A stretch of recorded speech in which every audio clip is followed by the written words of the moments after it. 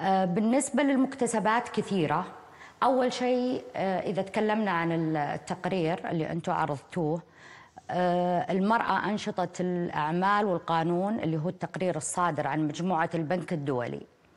طبعا هذا التقرير سنوي يهدف إلى يعني مقارنة التمييز بالأنظمة بين الجنسين.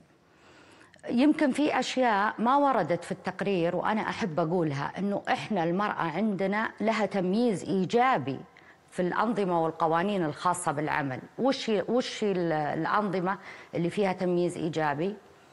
اللي هو آه، عندكم نقطة آه، الإجازة اللي تاخذها المرأة مدفوعة بالكامل في حال آه، وفاة الزوج. وطبعا كلنا نعرف أنه مدة العدة أربع أشهر.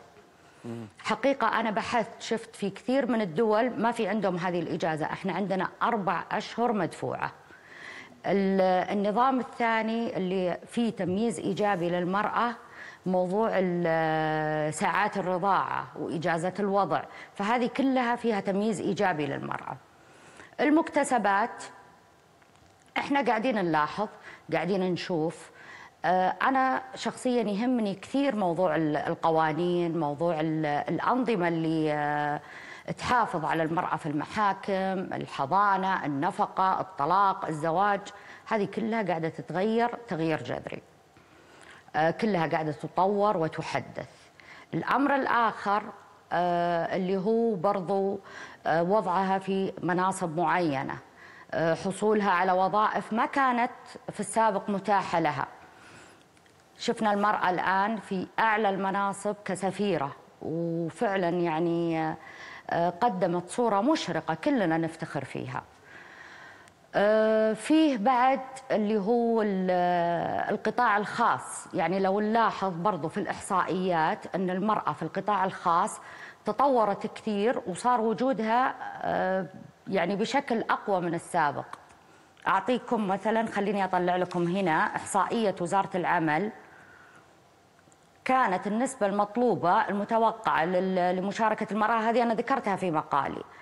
في سوق العمل 25% خلال عام 2025 العام الماضي صارت 31% جميلة هذه الأرقام بالتأكيد أستاذة سمر. ولي العهد السعودي حفز المرأة أيضا أنها تحصل على العديد من الحقوق.